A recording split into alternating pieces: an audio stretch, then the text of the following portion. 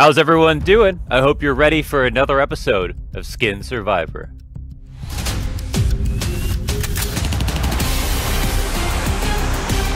Today I'm joined by none other than TabseN. TabseN, how are you doing, man? I'm doing good. Thank, thanks, man. We've got 16 skins in a knockout bracket. TabseN, you're going to pick your favorite of the bunch, and the winner after four rounds is going to go to one lucky Twitter user. TabseN, you ready to do this? Sounds good. I'm ready. The Asiimov. Black Laminate. Neon Revolution. The Red Line. The Jaguar. Frontside Misty. Neon Rider. The Empress. So now we're going to move on to round two. This is where things will get a little bit more tricky. I might ask you a couple questions about your choices. Sure.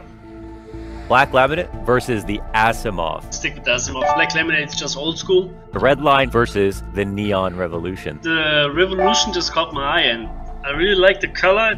Jaguar versus Frontside Misty. The Frontside Misty definitely. Like also has a nice color of it. The Empress versus the Neon Rider. The Empress because I just need to something a little more something different in.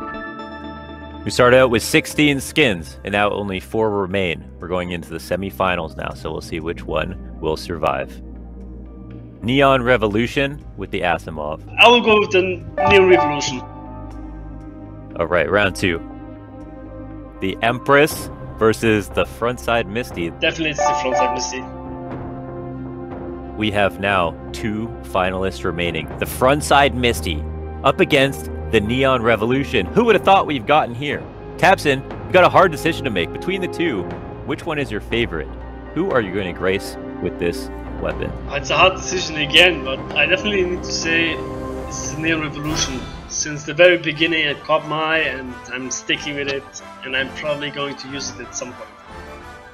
Neon Revolution, standing against all odds, has taken a win over the frontside Misty.